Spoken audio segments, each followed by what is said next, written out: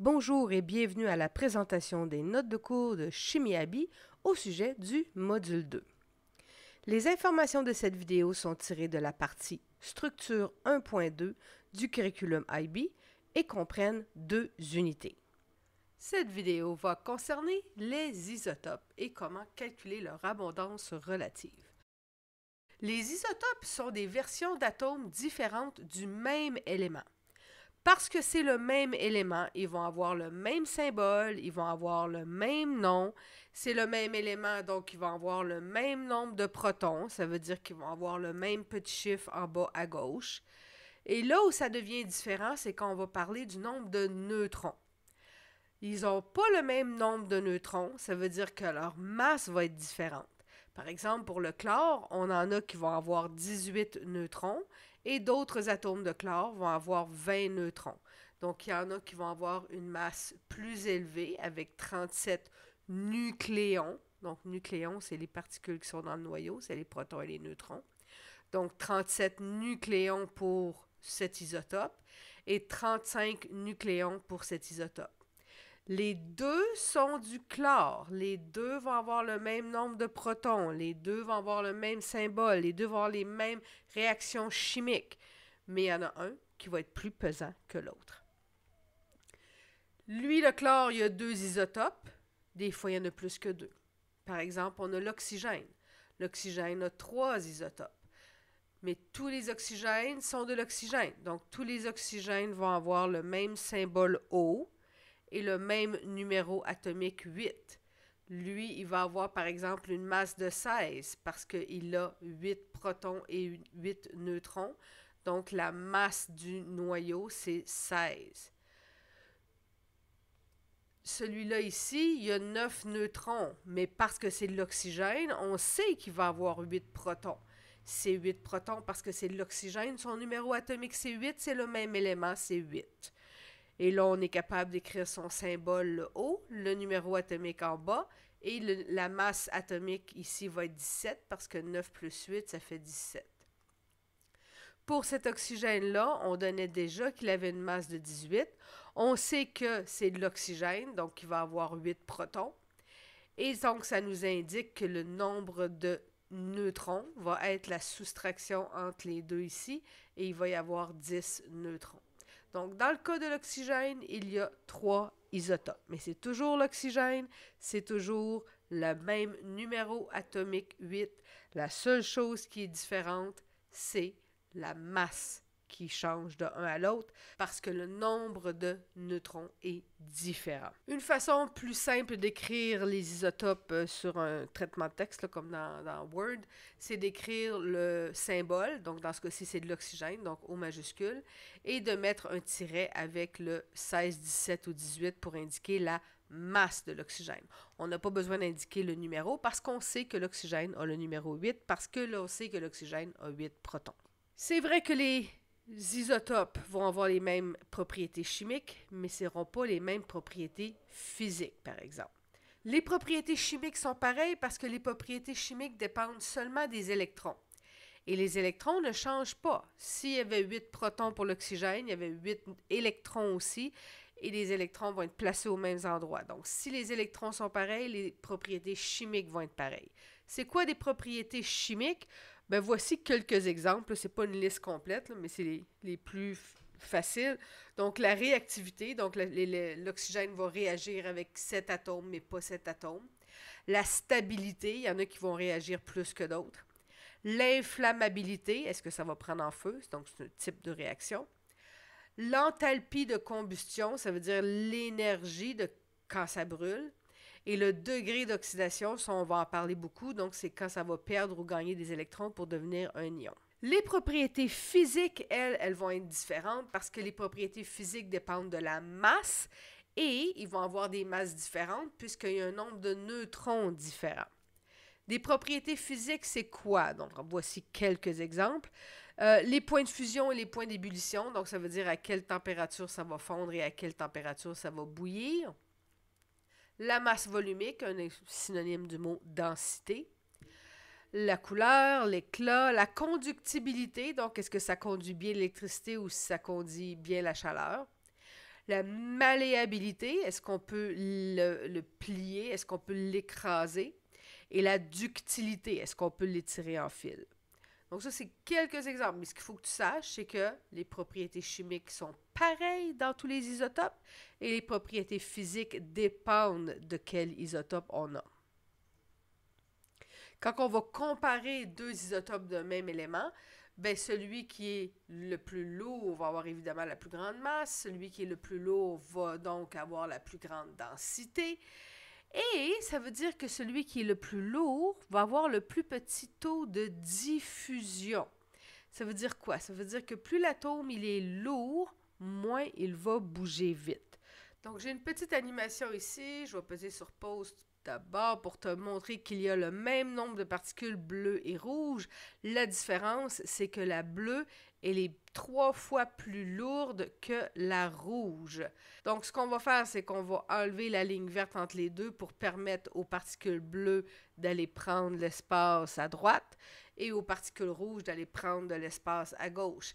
Et ce que je veux que tu observes, c'est le nombre de particules qui va apparaître de chaque côté. Donc, pour l'instant, à gauche, on a toutes les 200 particules bleues et aucune rouge. Et à droite, on a toutes les 200 particules rouges et aucune bleue. Et quand on ouvre la paroi, là, les particules vont commencer à se déplacer d'un côté et de l'autre. Et regarde comment on a les rouges ici qui ont réussi à aller du côté gauche beaucoup plus rapidement. Les bleus ont réussi à y aller aussi, mais moins vite. Et c'est parce que les bleus sont plus lourdes et plus l'atome est lourd, moins il bouge vite. Donc c'était ça le but de l'animation qui est ici. Maintenant, quelle quantité qu'il y a de chaque sorte d'atome? Tous les atomes d'éléments ne sont pas présents dans la nature en proportion égale. Par exemple, pour le chlore qu'on a utilisé dans le premier exemple, ben, il y a trois fois plus de chlore léger que de chlore lourd. Donc, les proportions dans ce cas-ci, c'est 75% de chlore léger et 25% de chlore lourd. Le tableau périodique, lui, ne te donnera pas les chlores légers et les chlores lourds. Il va juste indiquer la moyenne de tout ça. Mais quand on calcule la moyenne, il faut tenir compte du fait qu'il y a plus de légers que de lourds. Et c'est pour ça que la moyenne dans le tableau périodique, c'est 35,45. Donc, c'est pas juste une moyenne normale comme tu as appris en maths, faire la moyenne pondérée, que ça va s'appeler. C'est la moyenne pondérée. Pour le chlore, il y avait deux isotopes, c'était facile, mais des fois, il y a plus que deux isotopes. Donc là, au lieu de faire un graphique circulaire, on pourrait utiliser un graphique à barre. Donc l'exemple qu'on a ici, c'est le zirconium. Le zirconium a cinq isotopes. Quand on va les représenter, ben, on va écrire la masse atomique en haut à gauche comme ça. Donc le zirconium 90, 91, 92, 94 et 96. On peut toujours utiliser une règle pour être capable de mieux lire précisément le pourcentage. Donc, dans le cas du zirconium, c'est un petit peu à peu près 52 pour le 90. Euh, le suivant, le 91, disons à peu près, je sais pas, 11% 92, un petit peu plus, à peu près 17% le suivant, oh, c'est presque la même chose, mais un petit peu plus. Fait qu'on va dire 18 Et le dernier, le 96, il n'y en a vraiment pas beaucoup, disons 3 donc, la totale de tout ça, évidemment, devrait te donner 100%, dépendamment des sources d'erreur, mais ça devrait te donner 100%. Maintenant, qu'est-ce que je fais avec tous ces chiffres-là? Qu'est-ce que je vais écrire dans le tableau périodique? Comment est-ce que je vais faire mon calcul de masse pondérée pour mettre une valeur de masse atomique dans le tableau périodique? Ben c'est pas juste une masse, euh, une moyenne comme en maths. On fait pas juste la somme des items puis on divise par deux. Donc pour le chlore, on fera pas 35 plus 37 divisé par 2 égale 36. C'est pas vrai. On a dit le tableau périodique me donne 35.45. Donc c'est pas une moyenne comme ça qu'il faut faire. On va faire une moyenne pondérée. La moyenne pondérée, on la calcule en faisant la somme de chaque item, donc chaque masse, multiplié par son abondance relative. Donc là, ici, c'est facile parce que j'en ai juste deux. J'ai le chlore 35 et le chlore 37. Le chlore 35 est présent à 75% donc je vais faire 35 fois 75% Et le chlore 37, lui, est présent à 25% Donc, je vais les multiplier ensemble. Et ensuite, je vais additionner ces deux produits-là. Si ta calculatrice la touche pourcent, ben, tant mieux. Sinon, tu peux convertir le pourcent en 0,75 ici ou 0,25 ici. On met ça dans la calculatrice, on trouve 26,25 pour ce premier produit, on trouve 9,25 pour ce deuxième produit, et ça me donne le 35,5 qui est dans le tableau périodique. Donc, c'est comme ça qu'on fait des calculs de masse pondérée. Quand il y en a juste deux, ça va bien. On va avoir seulement deux produits à additionner. Dans le cas du zirconium, ben, il faudrait additionner les cinq produits. On peut faire le calcul inverse, donc partir de la valeur qui est dans le tableau périodique et retrouver c'est quoi le pourcentage d'abondance relative de chaque isotope. Mais ce calcul-là, il est un petit peu plus complexe. Donc, on va faire un autre exemple, l'exemple du bord. Le bord aussi a seulement deux isotopes, le bord 10 et le bord 11. Et le tableau périodique me donne une masse de 10,811.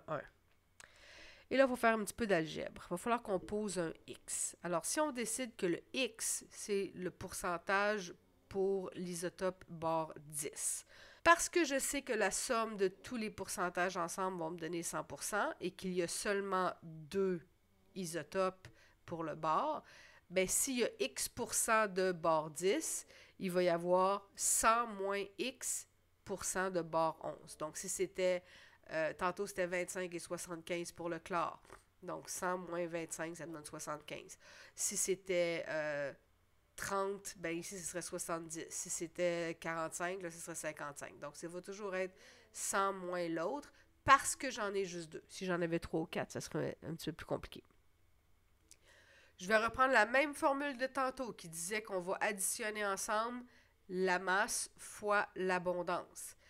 La différence ici, c'est que je ne connais pas l'abondance. C'est ce que je cherche. Mais c'est pas grave parce que j'ai décidé que c'était X.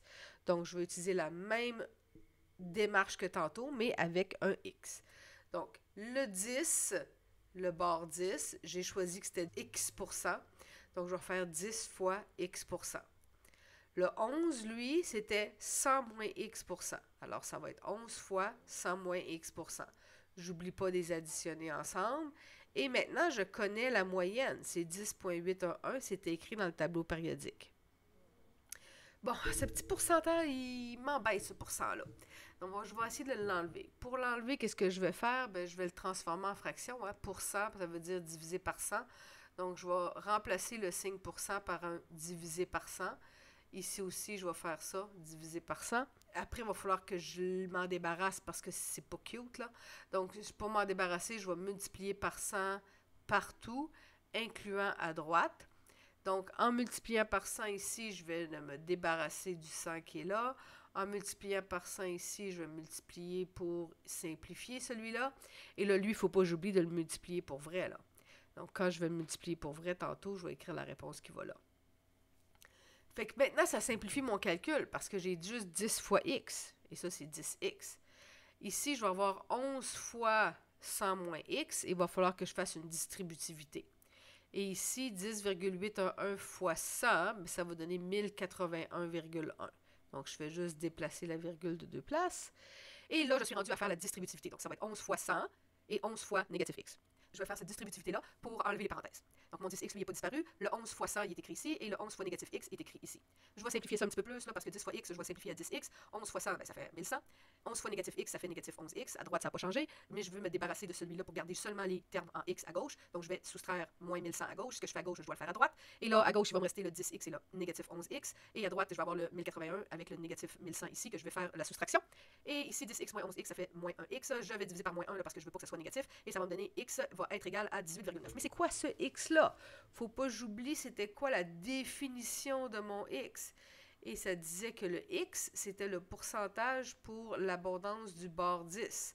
Donc, ça veut dire que le bord 10 est abondant à 18,9% Et après, je vais pouvoir utiliser cette petite relation-là ici pour trouver c'est quoi le pourcentage d'abondance du bord 11. Et c'est la soustraction, donc 100 moins 18,9% et ça donne 81,1% pour le bord 11 et ça c'est ma réponse. Des exercices comme ça, on va en faire d'autres en classe. Et pour l'instant, c'est tout pour cette vidéo. Alors, je te laisse et on va se revoir dans le module 3. Bye!